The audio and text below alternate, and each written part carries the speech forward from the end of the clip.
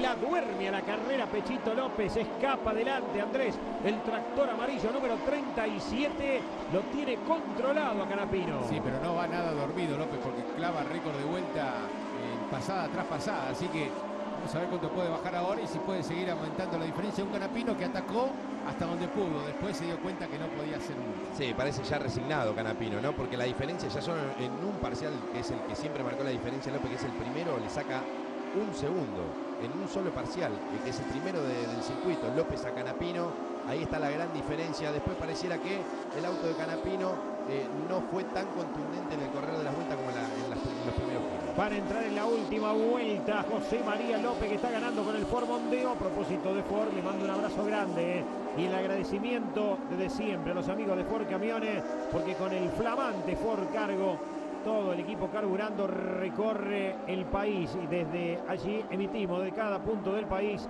todos los domingos el mejor automovilismo. Ford Camiones, muchas gracias por estar junto al equipo carburando. Va a cumplir la última vuelta. Ya viene José María Pechito López. Comienza a recorrer los últimos cuatro kilómetros y fracción. Aquí está el tractor amarillo. A ver.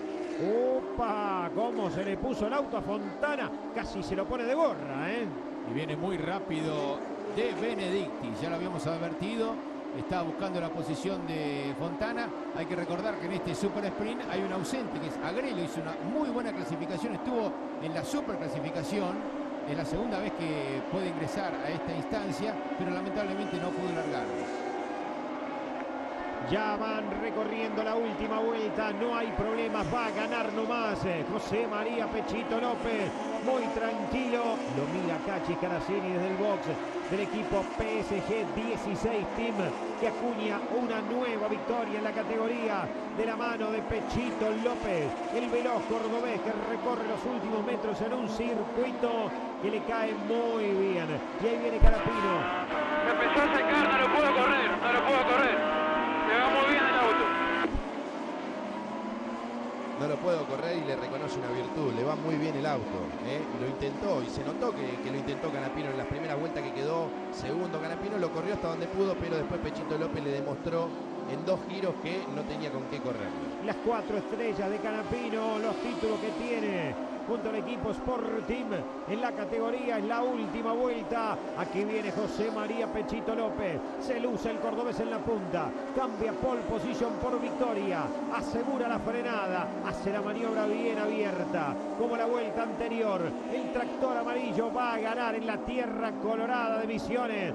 Él quiere cortar la racha de los autos rojos que hasta aquí han ganado todas las carreras y él va con el tractor. ¡Upa! Trompo de Llorito de Benedicti. Lo esquivó Matías Rodríguez. Ya va saliendo de Benedicti que se jugó hasta el final. Perdió una sola posición. Se eleva la bandera cuadros. Va a ganar José María Pechito López. ¡Ganó!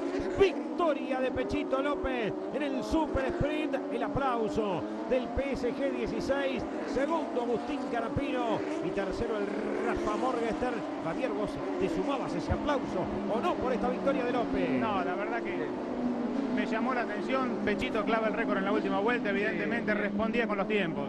venía cómodo y tenía buena actitud, o sea, él va mejor yendo rápido, o sea, no es especulador. Ahora qué corredor, Pechito. Ustedes le advirtieron en la primera o la segunda vuelta que era rápido Canapino en el primer parcial, con el tiempo nada más respondió. Sí, señor, sí, muy bien. Gran trabajo. Sí, por suerte, contentos y bueno, hay que esperar mañana y seguir en la, en la buena senda, gracias. Muchas gracias. La palabra de Alberto Scaracini. Muy bien, clasificame rápido Andrés que nos vamos a la pausa. Ganó López, segundo Super Sprint consecutivo. Larga en la primera fila con Canapino, que fue el escolta. Tercero Morgenstern, cuarto el Pato Silva. Hacemos la pausa y enseguida volvemos desde Oberá con la Top Race.